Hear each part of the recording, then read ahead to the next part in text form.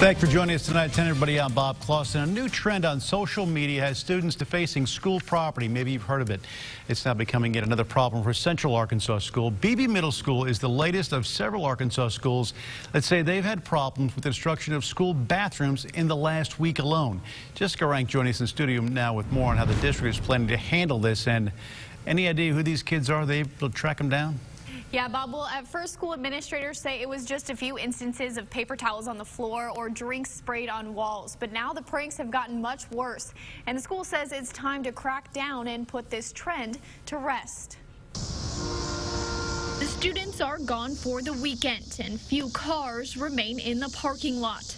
But on the other side of the doors to Beebe Middle School, administrators are hard at work. We were hoping that maybe it wouldn't make its way down here to the middle school, but unfortunately it has. The latest trend on TikTok has students vandalizing school bathrooms. We've already seen it in Jacksonville and Cabot. Now, Beebe. They're definitely seeing those things or they're hearing them on the buses. Staff says the pranks started out small. And it sort of took off. We've seen toilet seats removed. We've seen uh, hand sanitizer, soap dispensers removed. The principal says sinks and even security lights were destroyed, all within the last week making a mess for custodians and putting pressure on teachers. They can't just send students to the bathroom now. The school is now keeping track of students' walks in the halls. And if they're not back in time or taking too many breaks, red flag. The school says it hopes parents will talk to their students. You should have pride in your school and we want it to be a nice place. So when the parking lot fills again, the students can focus more on studies